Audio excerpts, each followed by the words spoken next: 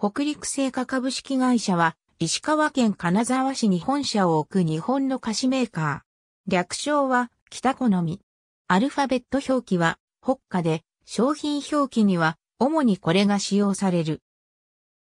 ビスケットや乾パンが主力商品とする菓子メーカーで、現在はかつて、福や製菓が生産、販売していたあられ菓子、ビーバーも主力商品となっている。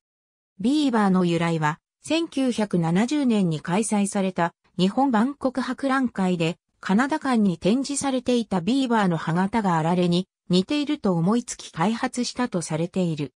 本社に隣接して直売店、金沢綾匠では工場見学も可能になっている。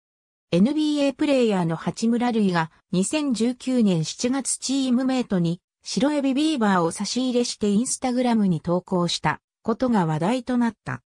これにより商品の注文が殺到し品薄となり最大で1ヶ月待ちになったほか、北陸製菓は急遽ビーバーの公式ツイッターも開設した。北陸製菓は2019年12月に石川県金沢市出身の大相撲力士炎鵬に化粧回しを贈呈した。